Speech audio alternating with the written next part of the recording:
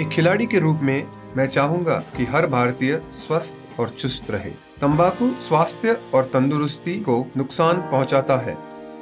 सभी तंबाकू पदार्थ खतरनाक और घातक है। अगर आप स्वस्थ और तंदुरुस्त रहना चाहते हैं तो तंबाकू से दूर रहें। मैं रहता हूँ, आपको भी रहना चाहिए। आइए तंबाकू के सामने दीवार बनकर खड़े हों।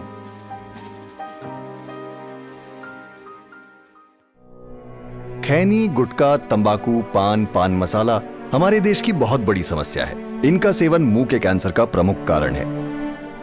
इस मरीज़ को जीभ का कैंसर है और हमें इसका ध्वनि यंत्र निकालना पड़ा।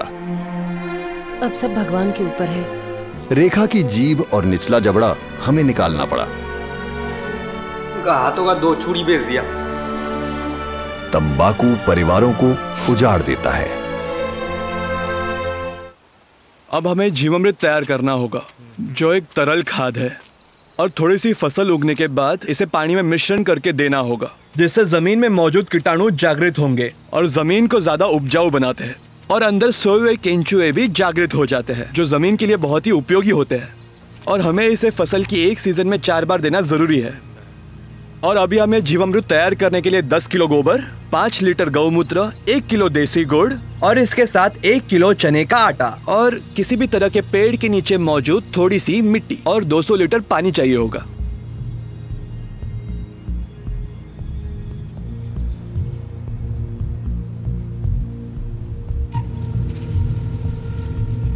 ये पानी डालो। गोबर। हाँ हाँ हाँ हाँ डालो डालो डालो। बस बस।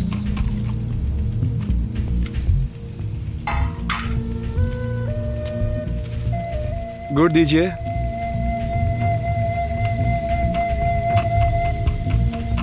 गौमूत्र दीजिए।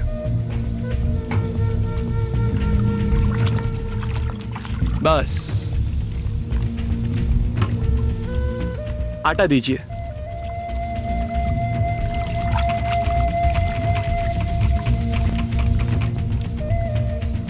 थोड़ी सी मिट्टी दीजिए।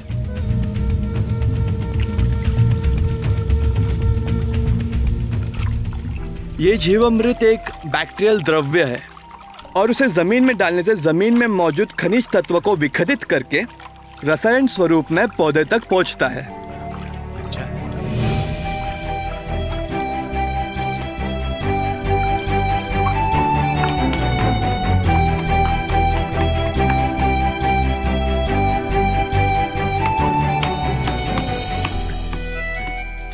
दिनों तक हमें इसे सुबह शाम हिलाना होगा।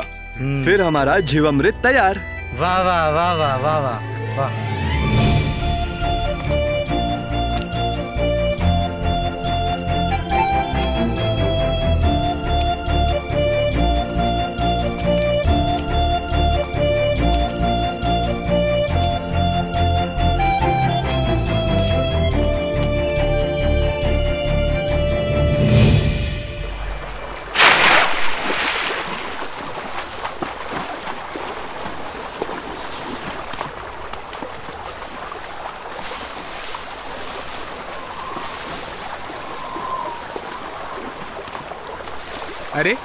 कर रहा है भाई तू? अरे रितेश आओ भाई आओ। इस तरफ़ कैसे आना हुआ? बस जानने आया हूँ कि तेरे दिमाग में क्या चल रहा है। कुछ नहीं भाई क्या चल रहा होगा? नहीं कुछ तो चल रहा है। और हाँ तुम तो जानते ही हो अपने पूरे गाँव में पेस्टिसाइड्स और फर्टिलाइजर्स मेरी ही कंपनी मुहैया करती है। और कंपनी की ओर से मुझे टारगेट भी मिलता है। और तू यहाँ आकर गाँव वालों को रसायनों का उपयोग ना करने के लिए कह रहा है। तू क्यों मेरे पेट पे लात मार रहा है? कुछ तो दूसरों के बारे में सोच। रितेश ये हम दोनों के बीच की बात नहीं है। ये लंबे समय की बात है। बाकी मैं तुम्हारे पेट पे लात मारने के बारे में तो सोच भी नहीं सकता। तो तूने ये जो शुरू किया है तुझे लगता है कि इससे मुझे कोई फ़र्क नहीं पड़ेगा? पड़ेगा। फ़र्क तो पड़ेगा। तुमसे ज़्यादा तुम्हारी कंपनी वालों को ज़्यादा फ़र्क पड़ेगा। तू तो मालिकी छोड़कर सिर्फ़ नौकरी कर रहा है। पर तू ये तो सोच। ये केमिकल वाली फ़सल खाकर लोगों का क्या हाल हो रहा है? जो बीमारियों के नाम भी नहीं सुने थे, वो सब बीमारी आज पैदा हो रही है। ये सब केमिकल के कारण। और मेरी लड़ाई इसके खिलाफ है। और तू तो मेरा भाई है यार। और तू ये सब नौकरी वोकरी छोड़कर अपने पिताजी के साथ खेती में लग जा। और तू अपने पिताजी के साथ होगा तो उन्हें जैविक खेती में कोई तकलीफ़ नहीं होगी। वाह क्या बात है? तू खुद तो दिल्ली जा रहा है एक महीना पूरा होने के बाद गुलामी करने और मुझे नौकरी छोड़ने की सलाह दे रहा है? भाई, काश तू मुझे समझ पाता। चल, रहने दे। तू अपना काम कर और मुझे अपना काम करने दे।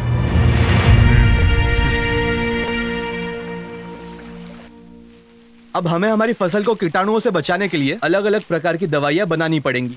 ये दवाइयों के अलग अलग प्रकार है। जैसे कि निमास्त्र, ब्रह्मास्त्र, अग्नास्त्र और फूगनाशक दवाइयाँ। निमास्त्र है रस चूसने वाले कीटाणुओं के लिए। ब्रह्मास्त्र जो है वो अपनी बड़ी इलिया और कीटाणुओं के लिए। जबकि अग्नास्त्र है वो कपास और फल में मौजूद इल्लिया और बड़े कीटाणुओं के लिए। अब हमें निमास्त्र जंतुरोधक दवाइयाँ बनाने के लिए सौ लीटर पानी, पाँच लीटर गौमूत्र, एक किलो गोबर और पाँच किलो नीम की ज़रूरत पड़ेगी।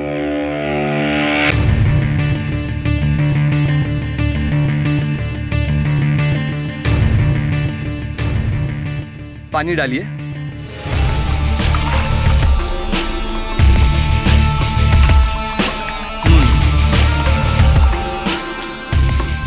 गोबर ले लो। आराम से।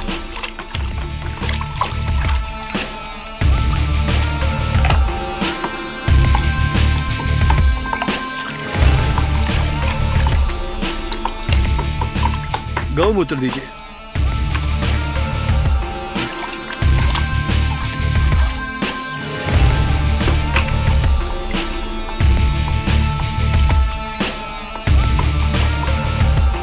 नीम दीजिए।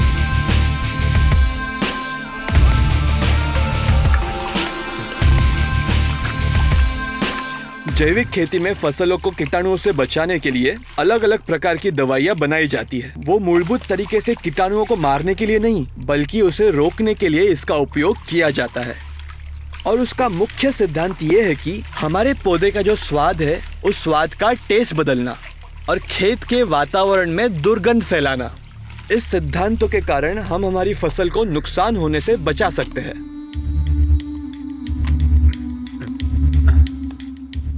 इस मिश्रण को हमें शाम को एक बार हिलाना पड़ेगा और 24 घंटे में हमारी दवाई तैयार।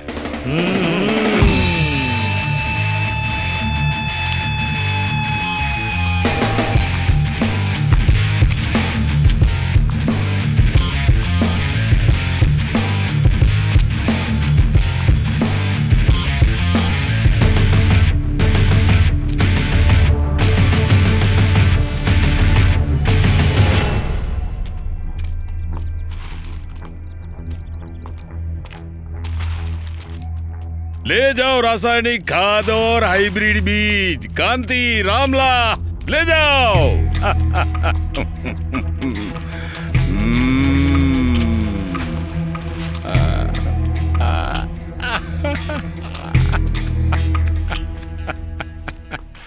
अब हम छाछ अमृत बनाएँगे जो हमारी ज़मीन की खराश दूर करने में उपयोगी साबित होगा। इसे बनाने के लिए चाहिए हमें पाँच लीटर छाछ ढाई किलो देसी गुड़ और हमें सौ लीटर पानी चाहिए होगा। अच्छा।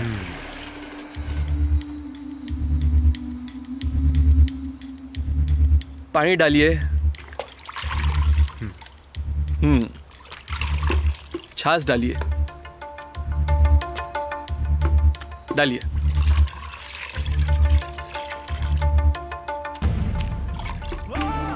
गुड़ दीजिए। डालिए। इस छाछामृत में गुड़ डालने से छाछ में मौजूद खट्टे जीवाणुओं की बढ़ोतरी होगी। और छाछामृत का खट्टापन बढ़ेगा, जिससे यह खट्टापन ज़मीन की खराश को कम करेगा।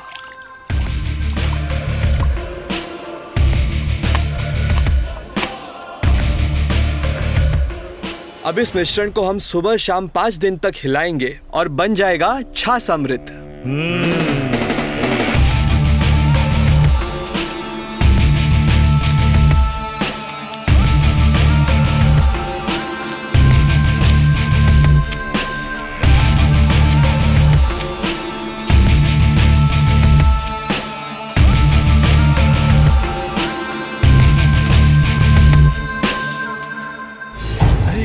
हो गया खाते क्या हुआ कांति काका को आत्महत्या क्यों कर देखा? देखा आपने? ये तो किसने अच्छे अरे कांति काका ऐसा कैसे कर सकते हैं? तकलीफें तो सबको होती है बहुत गलत हुआ बहुत गलत हुआ। नहीं नहीं। खुदकुशी करना लगा ठीक नहीं था कांति काका ऐसा कुछ कर सकते हैं। बहुत गलत किया है। उनके घर वालों को मालूम पड़ेगा तो क्या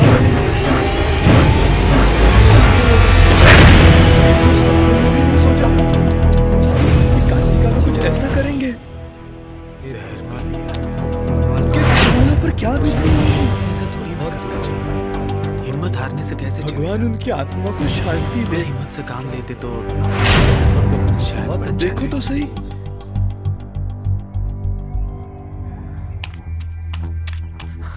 सरपंच जी ओ सरपंच जी हाँ।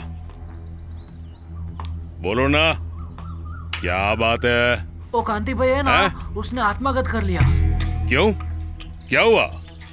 वो आपकी दुकान में से जो दवा ली थी पेस्टिसाइड दवा वो डुप्लीकेट आ गई थी। और वो दवा से उनकी सब फ़सल का नुकसान हो गया। कांति भाई ने कृषि बैंक में से लोन भी ली हुई थी इसलिए कर्ज में डूबे थे। इस चिंता के कारण उन्होंने आत्माघात कर लिया। ये तो होता ही रहता है। इंसान को जब मरना लिखा होता है ना तभी उसकी मौत होती है।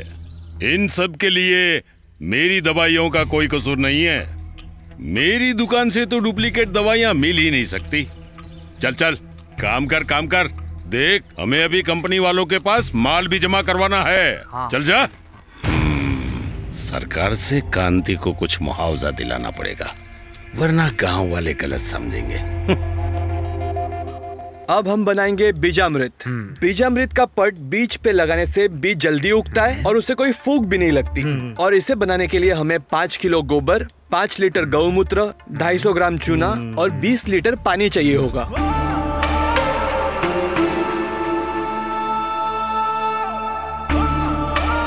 पानी डालिए गोबर डालिए। चूना दीजिए।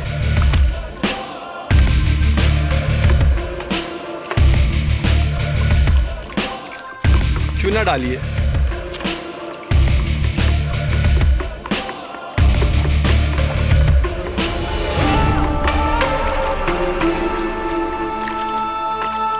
गौमूत्र दीजिए। डालिए। इस बीजामृत में इस्तेमाल होने वाले गोबर कली चूना और गौमूत्र, ये तीनों चीज़ें जंतु रोधक है। गोबर और गौमूत्र में कीटाणु और फंगस को रोकने वाले तत्व मौजूद है। बीज पे ये पट लगाने से बीज को नुकसान पहुँचाने वाले कीटाणुओं को रोकने का काम करता है।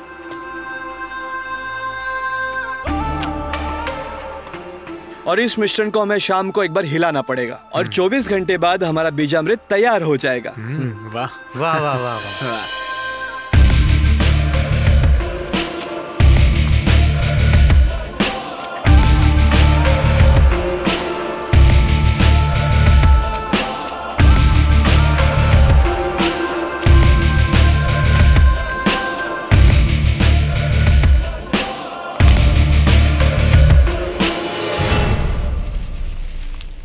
बेटा कांति की तरह सभी इंसान बहुत ही परेशान हैं इस रासायनिक खेती से। हाँ।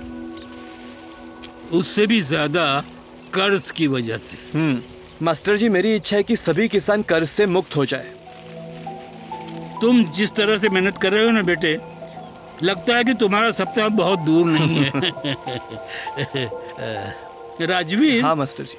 बेटे तुम्हारे और नंदिनी के बीच कोई झगड़ा हुआ है क्या? नहीं तो? नंदिनी ने आपको कुछ कहा था? नहीं नहीं उसने तो कुछ नहीं कहा बेटा लेकिन ये तो मैंने सोचा कि तुम्हें पूछ लूँ। बात कुछ ऐसी है ना बेटे आजकल थोड़ी अपसेट लग रही है। हम्म। हो गया कुछ?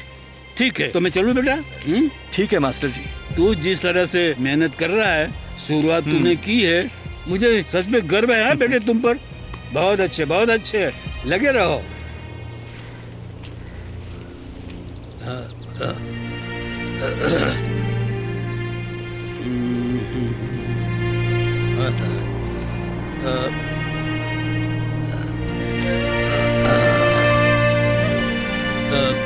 नंदिनी? बेटे।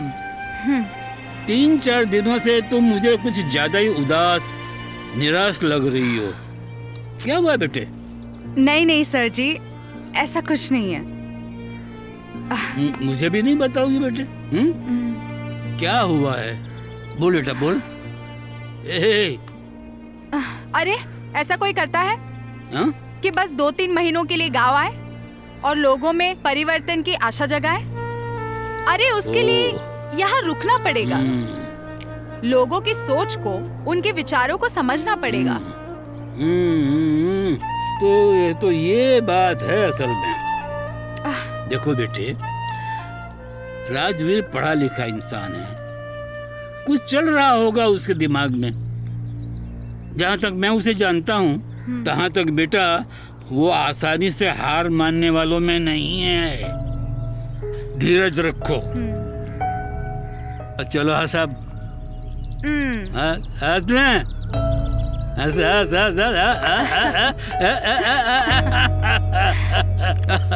सुखी लो बेटा सुखी लो इस वक्त हमें थोड़ी धीरज रखनी पड़ेगी। इतने सालों तक धरती पर केमिकल छिड़क छिड़क कर धरती बंजर हो गई है। और अगर हम आगे का सोचे तो हमारे लिए ही फ़ायदे की बात है। और हमारे देश के स्वास्थ्य के लिए तो है ही। हाँ सही कहा तुमने। और गांधी जी भी कह के गए हैं कि सच्चाई के राह पर चलने वालों को मुश्किलों का सामना तो करना ही पड़ता है। पर अंत में जीत हमेशा सच्चाई की होती है।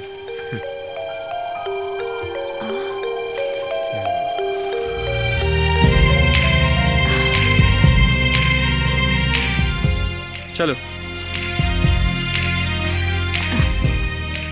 हम्म। नंदिनी? आ, मैं तुम्हें उस दिन okay. आ, तुम्हें पता है? लाइफ में पहली बार मुझे डर लग रहा है। डर? पर क्यों? ये सारे किसान है ना? ये मेरे भरोसे पे मेरी बात मानते हैं। और अगर उन लोगों का नुकसान हो गया तो? अरे नहीं होगा डोंट वरी और वैसे भी कुछ नया करने के लिए हिम्मत चाहिए। और जो हिम्मत करता है ना उसका भगवान हमेशा साथ देता है। So don't worry it's okay चलो। चलो।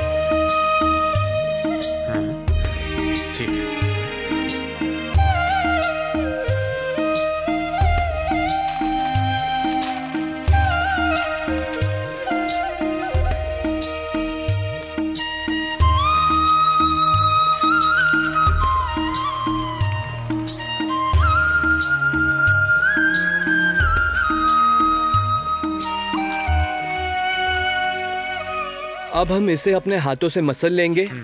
जैसे ही मसल लेंगे वैसे ही हम छाव में से सुखा देंगे। हाँ। और जैसे ये सूख जाए वैसे हम इसकी बुआई कर सकते हैं। हाँ।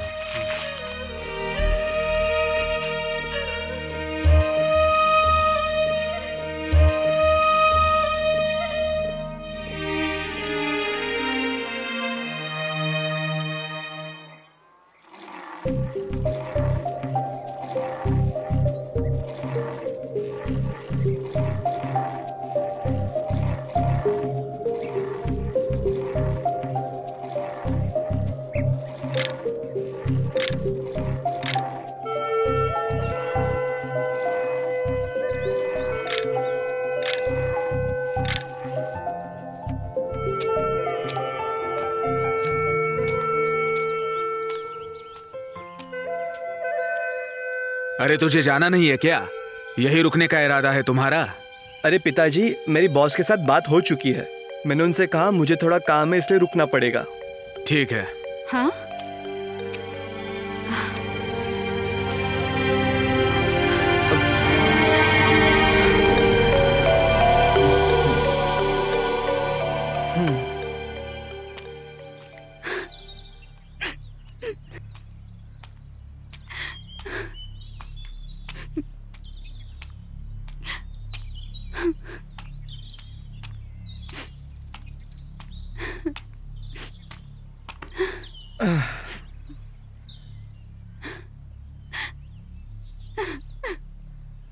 मैं दिल्ली नहीं जाने वाला हूँ। क्यों? मेरी वहाँ पर कोई नौकरी नहीं है। क्या? तो फिर तुमने अपने पिताजी को झूठ क्यों बोला? क्योंकि मैं उनका दिल नहीं तोड़ना चाहता था। क्योंकि वो चाहते थे कि मैं कोई अच्छी नौकरी करूँ। और मुझे नौकरी नहीं करनी थी मुझे तो खेती ही करनी थी। सच में? सच में। मुझे इस गाँव में रहकर जैविक खेती करनी है और तुम्हारे साथ ज़िंदगी बितानी है। तुम शादी करोगी ना मुझसे?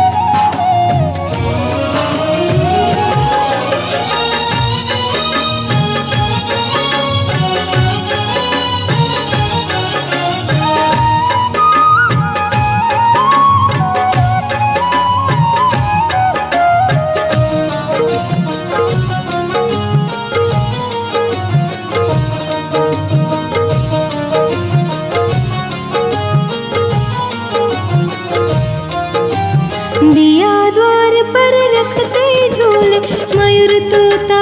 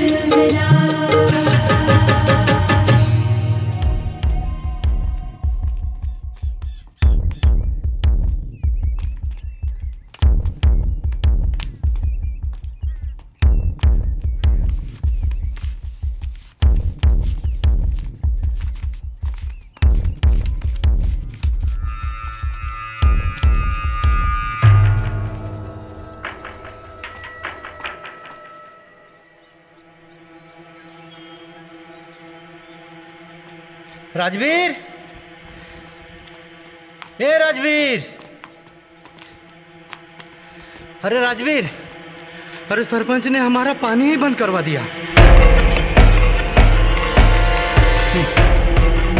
सरपंच? ओ सरपंच!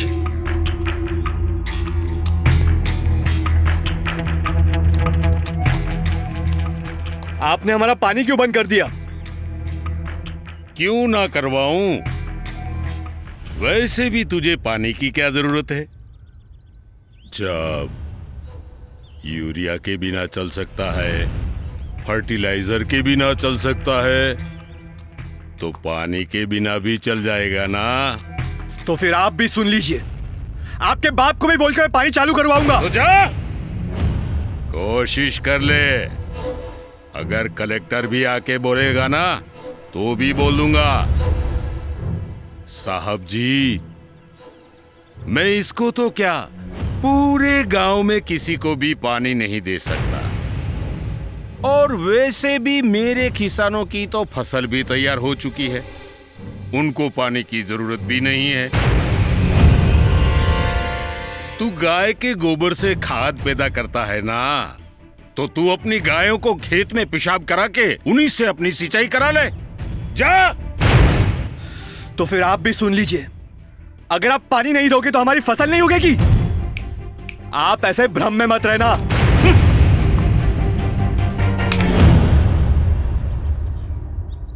राजवीर? क्या करेंगे बेटे? ये बिना पानी के तो पूरी फ़सल जलकर राख हो जाएगी। हमारी मेहनत हमारे पैसा हमारा समय कुछ भी काम का नहीं रहेगा। क्या करेंगे? इस तरह से जो हम सरपंच के विरुद्ध जाएँगे वो तो हमें परेशान करने वाला ही है। अरे पर, अरे पर अब हम करेंगे क्या? हाँ। ऐसा है तो सरपंच को जाके मैं समझाता हूँ। नहीं पिताजी। मास्टर जी आप मुझे ये बताइए हमारे गाँव में कितने कुएँ बचे होंगे? बेटा कुएँ तो बहुत सारे हैं पर जब से पानी घर घर पहुँचने लगा है तब से सभी कुएँ बंद पड़े हैं। हाँ। तो अब हम वो सारे कुएँ खोल देंगे। हाँ? अब धरती माता ही हमारी खेती को पानी देंगी। अब हाँ। राजवीर सही कह रहा है। देखो।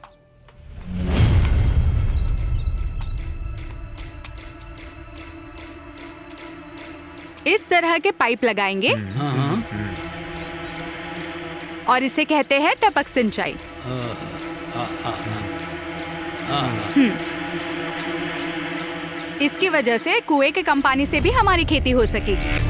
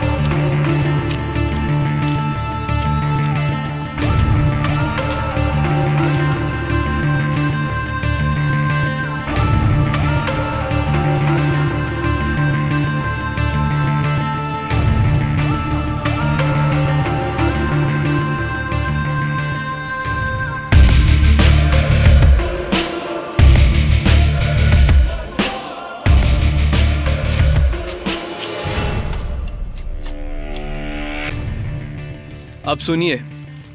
मोटर के कारण कुएँ में मौजूद पानी इस मशीन में फ़िल्टर होगा और फ़िल्टर होने के बाद इस वॉल्व को खोलने से, टपक सिंचाई पद्धति से फ़सल को पानी मिलेगा और पानी की बचत भी होगी। हम्म हम्म।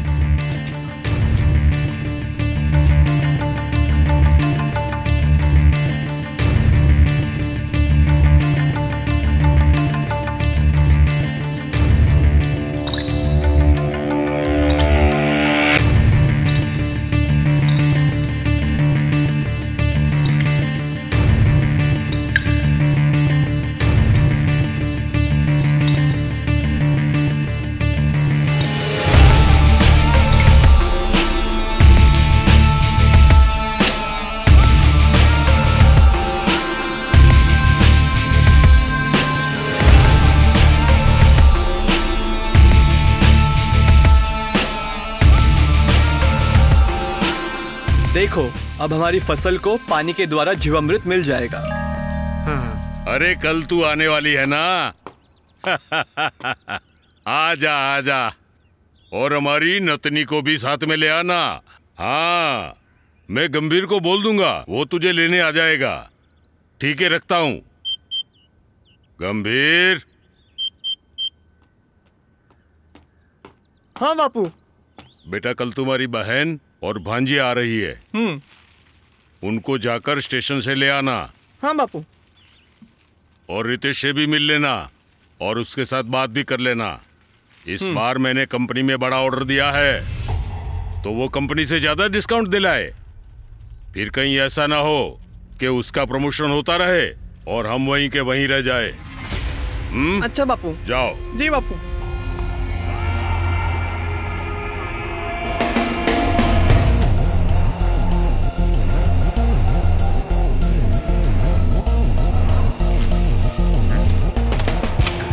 अब हमारी फ़सल को पानी के द्वारा छा समृद्ध मिल जाएगा।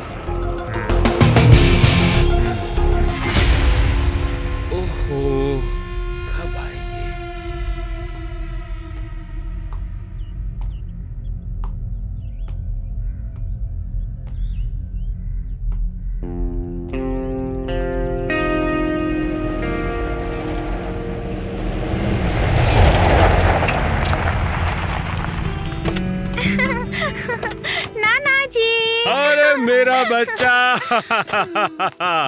जय श्री कृष्ण। अरे सुखी रहे सुखी रहे। कैसी है तू? हाँ, हाँ। दामाद जी कैसे हैं? वो एकदम ठीक है। अरे मेरी प्यारी बेची। आ जाओ आ जाओ अंदर आ जाओ। सब लोग अंदर आ जाओ। देखिए पंद्रह लीटर पानी में एक लीटर निमास्त्र दवाई मिलानी होगी।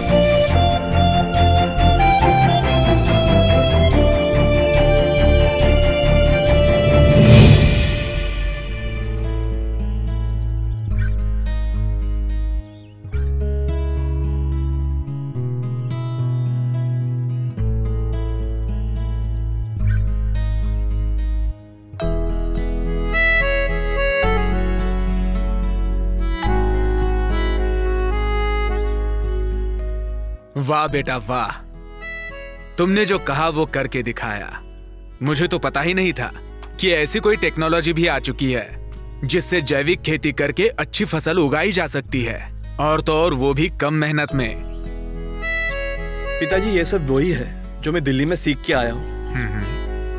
ये सब तो ठीक राजवीर पर अपना माल खरीदेगा कौन? हम्म।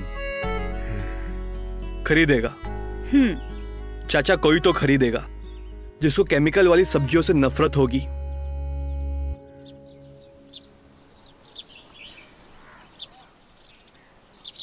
मास्टर जी, अब मुझे वाकई चिंता हो रही है कि हमारी फ़सल का करेंगे क्या? बहुत मुश्किल से तीन चार गाँव वाले हमारे साथ जुड़े थे। और अगर उनका नुकसान हुआ तो तो गाँव वालों को जैविक खेती के बारे में समझाना बहुत मुश्किल हो जाएगा। मुझे अब कुछ नहीं समझ में आ रहा है, मैं क्या करूँ? तुम्हारी बात तो सही है बेटा। कई बार ज़िंदगी में हम लोग सही हैं, वो साबित करने के लिए सिर्फ़ एक ही मौका मिलता है। और अगर उसमें भी सफल न हुए तो बहुत ज़्यादा कठिन हो जाता है। इस सरपंच के कहने पर, एनजे सुपरमार्केट वाले हमारा सारा सामान खरीद लेंगे, सब सब्ज़ी खरीद लेंगे इस बात में कोई दम नहीं है। अरे आप लोग चिंता मत कीजिए। सब कुछ ठीक हो जाएगा। कोई तो होगा ही ना जिसे रसायन वाला नहीं पर गुणकारी सब्ज़ियाँ और अनाज खरीदने होंगे। शाबाश बेटा तुम्हारी बात मुझे अच्छी लगी हो। मुझे लग रहा है कि ये ऊपर वाला हमारी धीरज और हिम्मत की कसौटी कर रहा है। हम सब उस पर भरोसा करके हिम्मत से आगे बढ़ेंगे। तो एक दिन हमें ज़रूर सफलता मिलेगी बेटा। हिम्मत मर्दा तो मदद खुदा। उसके घर पर देर है पर अंधेर नहीं है।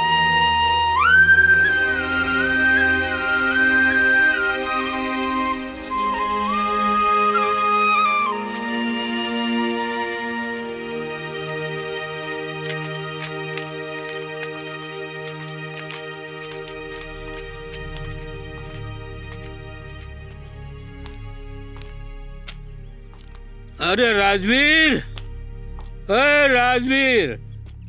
अरे देखो तो सही कौन आया है और क्या कहना चाहता है। ये हमारे राजवीर हैं और ये उनके नमस्कार। पिताजी नमस्ते। नमस्कार। नमस्कार। हम लोग गवर्नमेंट की तरफ़ से आए हैं। आप जैविक खेती करते हो ऐसा हमने सुना है? हाँ करते हैं। अभी अभी प्रयोग शुरू किया है। क्यों? सरकार ने इस बार ये तय किया है कि सरकार जिस जगह पे जैविक खेती और सब्जियों का उत्पादन किया जाता है उस जगह पर नई दुकान की शुरुआत की जाएगी। और उसके लिए जो लोग जैविक खेती द्वारा अनाज और सब्जियों का उत्पादन करेंगे उन लोगों की सब्जियों की और अनाज की खरीदी सीधी सरकार के द्वारा की जाएगी।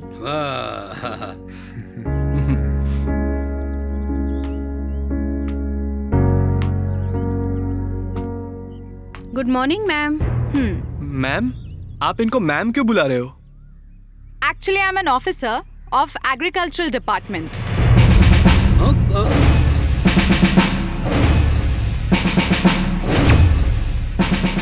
वैसे तो मैं एक रिसर्च के लिए यहाँ आई थी। उस रिसर्च में ऐसा था कि ये गवर्नमेंट हर एक राज्य में ऑर्गेनिक स्टोर की शुरुआत करने वाली है। और उस ऑर्गेनिक स्टोर में सिर्फ़ ऑर्गेनिक तरीके से उगाए गए सब्ज़ी और अनाज मिलेंगे। और लोगों को पता चल जाता तो ऑर्गेनिक स्टोर में भी करप्शन और मिलावट शुरू हो जाती। हम्म। और किसी को पता ना चले इसलिए ही गवर्नमेंट ने अंदर के लोगों को भेजा स्पेशली ऑब्ज़र्व करने के लिए। और जब फ़सल कट जाएगी तो गवर्नमेंट के लोग ही आएँगे सारी सब्ज़ियाँ और अनाज खरीदने के लिए। मतलब हम लोगों को सिर्फ़ अनाज और सब्जियों का उत्पादन करना है। हाँ। उसको बेचने की ज़िम्मेदारी हमारी नहीं। हमें उस झंझट में पड़ना ही नहीं है। हम्म। ये काम सरकार खुद कर लेगी। सही हाँ। है। ना? मतलब कि बीच में कोई बिचौलिया नहीं। सरकार खुद दाम तय करे और वही हमें सही दाम दे। सही बात है ना? अरे तो चलो ना हम सब हिसाब दे देते हैं अपनी अपनी पैदावार का। चलो चलो चलो चलो, चलो आओ आओ आओ चलो चलो चलो चलो चलो चलो हम्म। इन सारी बातों से तुम्हारे और मेरे रिलेशंस पर कोई असर तो नहीं पड़ेगा ना? तुम्हारे लिए मेरे फीलिंग्स एकदम रियल है। एंड आई एम सॉरी मुझसे कुछ कहा ही नहीं जा सकता था। मैं इतनी बंधी हुई थी। I hope you understand and I am really sorry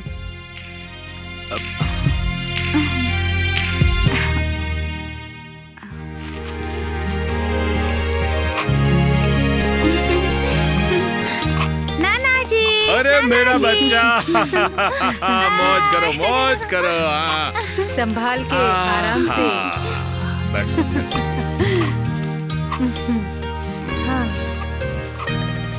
हाँ, बैठो हाँ। हाँ इस बार तो सारी फ़सल तैयार होते ही बिक गई। अरे वाह। और वो जो एनजे सुपरमार्केट वाले हैं ना हाँ। उन्होंने सारा माल खरीद लिया। अरे वाह। बहुत सारी कमाई हुई इस बार खेती से बहुत सारी।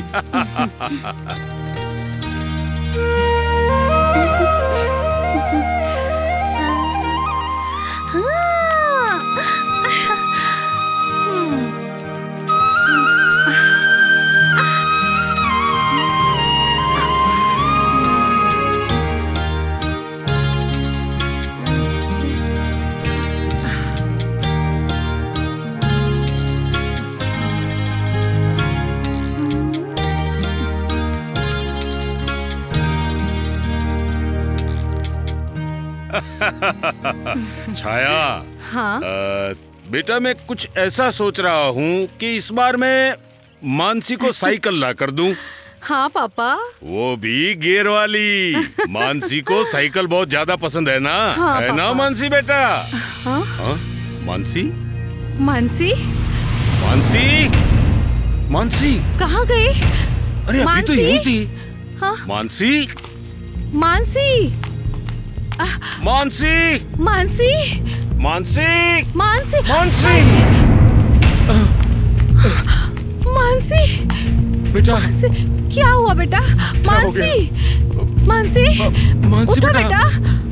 हाँ, मानसी। मानसी। मानसी।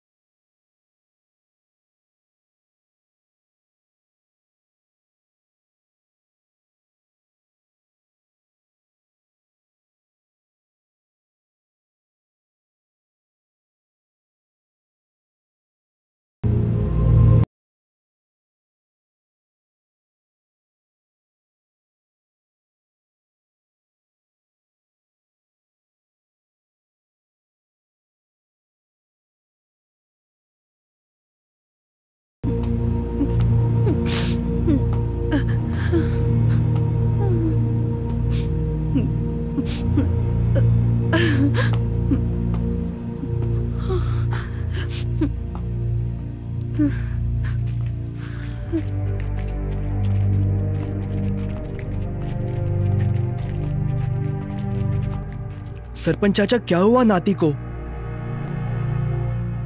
हम लोग आज खेत पे गए थे। वहाँ उसने कच्चा आम खाया। फिर पता नहीं क्या हुआ। वो बेहोश हो गई। और हम लोग जल्दी जल्दी उसे यहाँ ले आए। बस।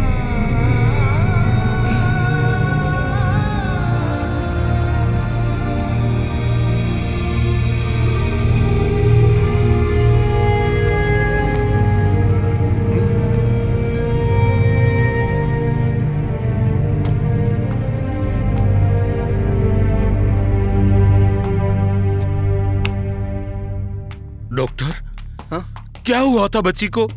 सब कुछ ठीक तो है ना? हाँ हाँ सब ठीक है। इसे तो फ़ूड पॉइजनिंग हुआ था। ये तो रसायनों के इस्तेमाल से होता है। ये तो अच्छा हुआ कि आपने समय रहते इसे अस्पताल ले आए। नहीं तो जान जाने की भी संभावना थी।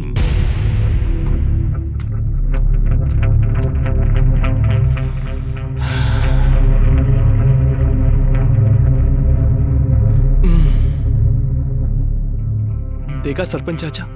कितना नुकसान है रसायनों का। हर साल सवा करोड़ जितने लोगों को कैंसर होता है। वो भी किसी के बेटे, भतीजे या नाती होंगे। इसलिए कहते हैं ना कि किसान नासमझ होकर लालच में आ जाए तब पूरी दुनिया में अंधकार छा जाता है। और मेरा कोई इरादा आपके खिलाफ जाने का नहीं था। मुझे तो आपको साथ में लेकर चलना था। अभी भी समय है चाचा। जो हम जैविक खेती की तरफ़ नहीं मुड़े ना तो पूरे देश में ये बीमारियाँ फैल जाएगी। आज मैं सरपंच दृढ़ प्रतिज्ञा लेता हूँ कि मैं और मेरे गाँव के सारे किसान भाई बहन रासायनिक खेती छोड़कर हम सब लोग जैविक खेती अपना लेंगे। मैं गंभीर को आज और अभी कहता हूँ कि ये जेर की दुकान बंद करे। बंद करो।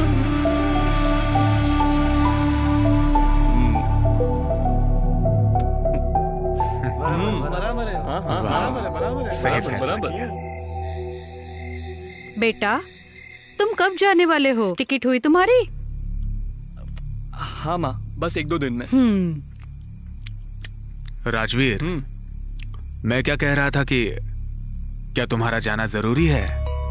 देखो ना कितनी अच्छी फ़सल आई है यहाँ। तुमने गाँव के लोगों को नया रास्ता दिखाया। तो मैं सोच रहा था कि तुम यही रह जाओ। और वैसे भी खेती सदियों से समृद्ध व्यवसाय रहा है। और खेती हमें सब कुछ देगी। तो क्या तुम्हारा नौकरी करना ज़रूरी है?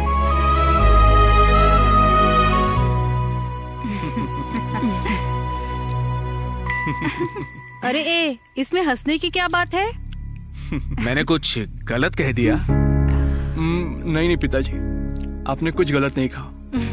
पर मैं कहीं जाने ही नहीं वाला था। मतलब? पिताजी मैं अपनी नौकरी छोड़ के ही आया था। मैं क्लियर था कि मुझे नौकरी वोकरी नहीं करनी है। और पिताजी मालिकी छोड़कर गुलामी क्यों करे? मुझे तो कहीं जाना ही नहीं था। मैं तो इधर परमानेंट शिफ्ट होने ही आया था।